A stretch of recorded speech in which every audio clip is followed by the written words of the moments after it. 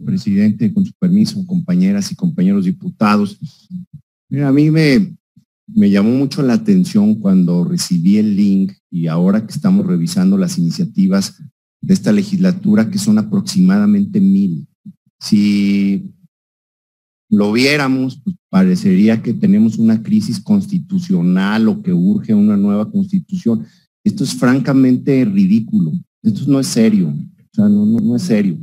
O sea, no es serio que, eh, por supuesto, no es el caso de los presentes, pero debe haber diputados que se le ocurre a un asesor de esos que están en legislatura, oiga, retome esta iniciativa y presentan y presentan iniciativas para reformar la constitución.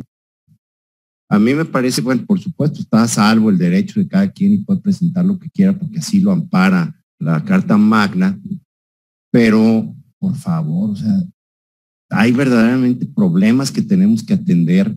Yo eh, lo había comentado ya en una ocasión con usted, presidente, necesitamos agrupar los temas eh, por tema, por artículo, y ver pues cuáles cosas son razonables y cuáles no, en un ejercicio que pueda hacer la junta directiva. Y aparte de eso, eh, pues desechar rápido lo que no podemos andar cargando una comisión como esta para que sea considerada como una instancia seria, andar cargando con mil eh, asuntos de todas las legislaturas pasadas, a partir de ese eh, análisis general, que la presidencia explore con la Junta de Coordinación Política realmente a qué temas les vamos a entrar. ¿A qué temas le vamos a entrar? O sea, qué eh, cuestiones están en la agenda política nacional que sí implican que vayamos a un ejercicio de revisión de acuerdo a la perspectiva de cada bancada.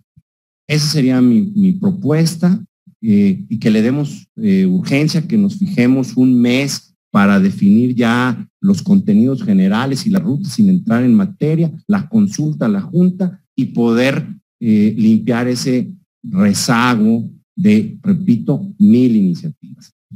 Y pues sé que no es el momento oportuno, pero lo que comentaba la diputada, que lo manifestaba como urgencia de hacer inembargables eh, los derechos, eh, particularmente lo que tiene que ver con eh, subvenciones que reciben sectores de la sociedad a, través del gobierno, pues en ese momento los van a evitar todas las instituciones crediticias que sean sujetos de crédito el que, el que tengan este derecho les permite acceder en distintas instancias a dinero que no tienen en ese momento respaldado precisamente por la subvención que reciben. Si esa se, declarara constitucionalmente eh, inembargable, lo que va a suceder es que no van a ser sujetos de crédito. Y en cuanto a eso, ese tema entre la, a la eh, agenda legislativa, pues por supuesto que va a empezar a restringirse el crédito, lamentablemente, para estas personas. Entonces tenemos que ser eh, pues muy responsables en estos ejercicios.